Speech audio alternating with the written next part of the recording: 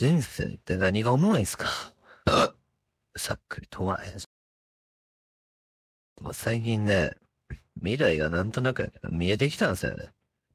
う、なんとなく。このまま一人で、生きていくんやろな。う、う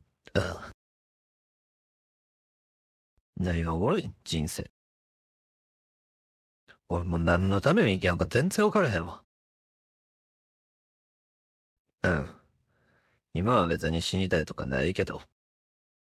もうなんか毎日無やわ。無。無。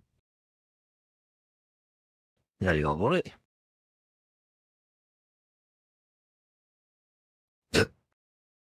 バカほんましゃっぺいとかよ。持ち悪いわ。全然面白くない。な、な、も面白くない。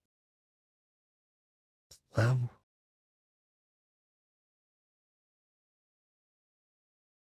ファンタジーの世界、ほんまに異世界転生したいっすわ。うん。異世界転生。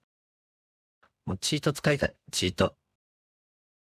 てか、魔物を倒したら、ゴールド落としていくから世界だとしよう。な、でもそうなったらそうなったらまたこうやってぐちぐち言うたやろな、多分。